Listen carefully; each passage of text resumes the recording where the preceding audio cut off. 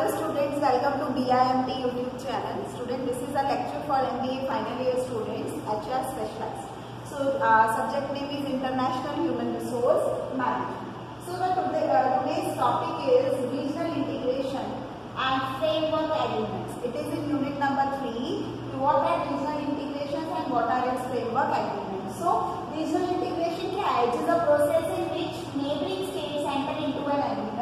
in order to upgrade cooperation through common institutions and rules. तो regional integration क्या है ये वो प्रोसेस है जिसमें नेबरिंग स्टेट्स कंट्री के अंदर की बात हो रही है जो नेबरिंग स्टेट्स है जैसे उत्तर प्रदेश हो गया किसी और स्टेट के साथ अगर कोई एग्रीमेंट में साइन एंटर करते हैं कोई एग्रीमेंट साइन करते हैं in order to upgrade cooperation किस लिए करते हैं agreement sign to upgrade the cooperation through common institution and rules the objective of agreement could range from political main objective क्या है सेंटीमेंट का इकोनॉमिक से पॉलिटिकल पॉलिटिकल से एनवायरमेंटल और वो it has typically taken the form of political economy initiative where commercial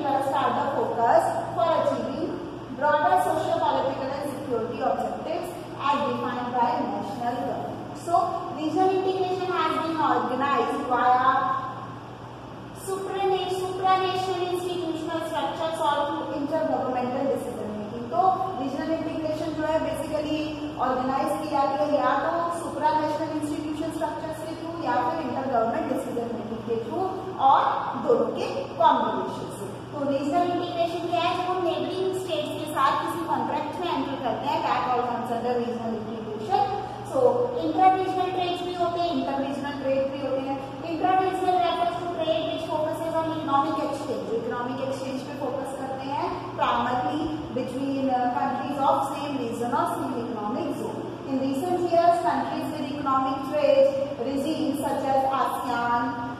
Southeast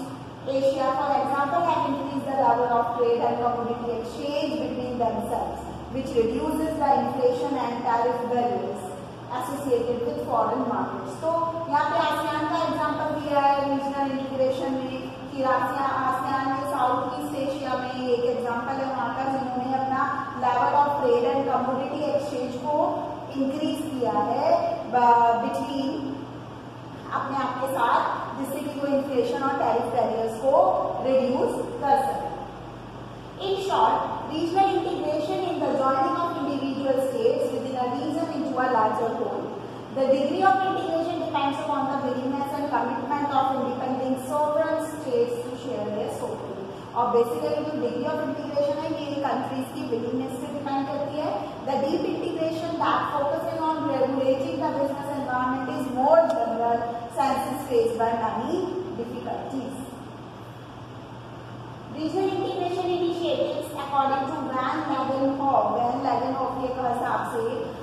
regional integration के कुछ initiatives हैं and that should be fulfil at least तो कुछ इंपॉर्टेंट फंक्शन है उसके जैसे कि strengthening of trade integration in the region तो ट्रेड को कैसे हम स्ट्रेंथन कर सके रीजन में वो इस टाइप होनी चाहिए the creation of an appropriate enabling environment for private sector development के लिए appropriate environment provide करें the development of infrastructure programs in support of economic growth economic growth के लिए हम infrastructure programs को develop करें regional integrations कराएं development of strong public sector institution and good governance then the reduction of social exclusion and the development of an inclusive civil society contribution to peace and security in the region, then the building of environmental programs at the regional level, then strengthening of the region's interaction with other regions of the world. So all regional integration projects during the Cold War were built on Westphalian state system and were designed to serve economic growth. The Cold War is a of regional integration project here, here, तो उसको जो build किया गया था वो trust फैलियंस ने किया था it is state system and were design to serve economic growth as well as security motive regional integration and globalisation are two phenomena that have challenged the pre existing existing global order based on sovereign states since the beginning of the twenty century तो अभी यहाँ पे regional integration के agreements नहीं हुए हैं are I as 30 minutes का I like to major developments in international relations और इन्होंने बहुत अपना मेजर रोल प्ले किया इंटरनेशनल रिलेशंस में between many countries specifically increasing in international trade and investment और ज़्यादातर जो तो इन्होंने ध्यान लगाया वो किस चीज़ पर फोकस किया international trade and investment in the formation of regional trading blocs as fundamental to the multifaceted process of globalization, regional integration has been a major development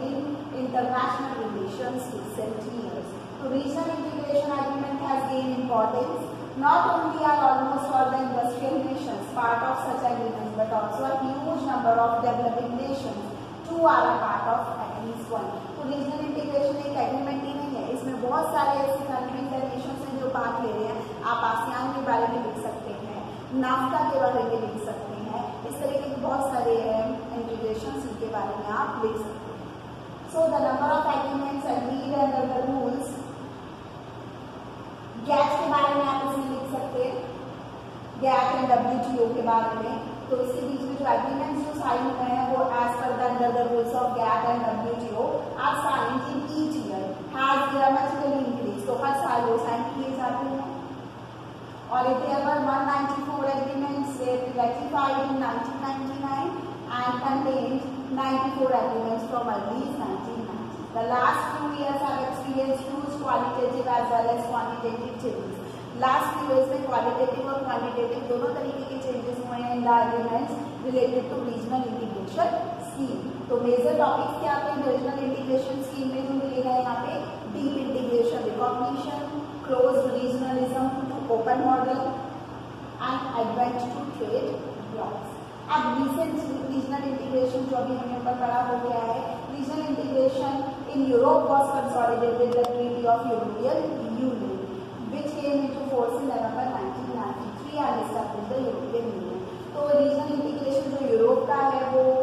consolidate किया गया as the treaty of European Union और जो कि November nineteen ninety three में establish किया गया by the European Union ये जो है यूरोपियन फ्री ट्रेड एसोसिएशन है and it is a trade bloc for four countries four countries के फ्री ट्रेड ब्लॉक इन्होंने प्रोवाइड किया है नाम पे नाम लिखे हैं स्विट्जरलैंड नॉर्वे लचिस्टीन आइसलैंड ये सब चीजें फिर आता है इसके अंदर और क्या आता है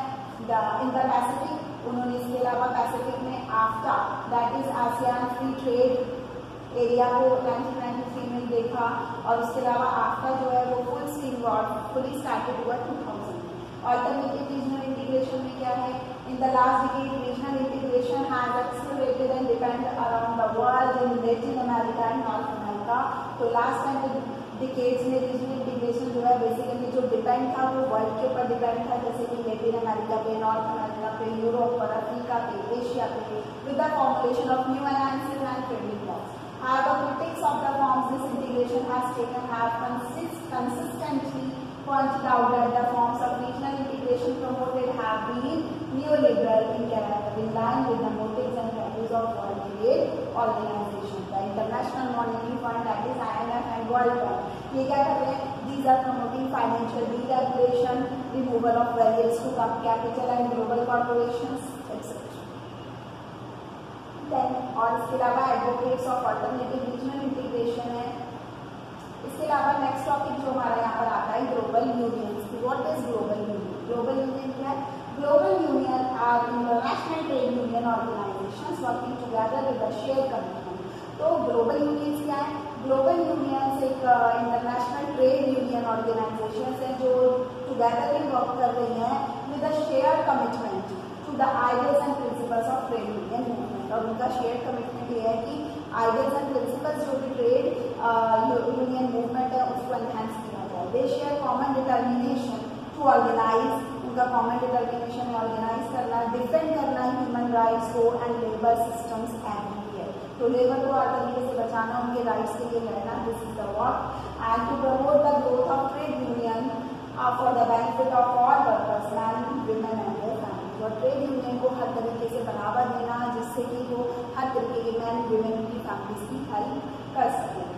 ग्लोबल यूनियन कहते हैं ग्लोबल यूनियन सभी तरीके के पूरे वर्ल्ड के लिए ग्लोबल यूनियन फेडरेशन जो मैन वुमेन उनकी फैमिली लेबर्स के लिए उनके राइट्स के लिए रखते हैं उनके लिए वर्क करते हैं तो ये सब ग्लोबल यूनियन में आएगा इसके बाद ग्लोबल यूनियन फेडरेशन क्या है G U X it is see to build international cooperation joint action and global solidarity among trade union in different countries basically international cooperation joint action को build करना चाहते हैं trade unions made between different countries with the shared common employers. There is a governing global trade union recognition. एक governing governing global trade union है जो कि recognition by multinational enterprises है of G U S at the headquarter levels and beyond and of work that they do as well as as important increasing social dialogue. In some cases, this interaction has resulted in the negotiation of International Framework act Agreements IFAs, also known as Global Framework Agreements. So trade union and Global Trade Union Federations के ये सारे works multinational enterprises hain हैं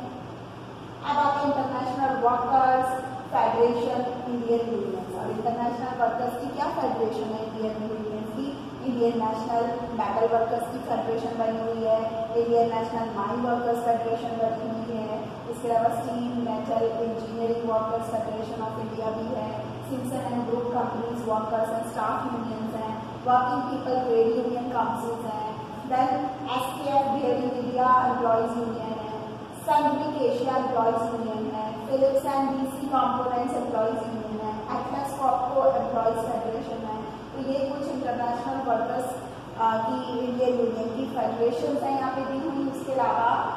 globe uh, ये international level पे global level पे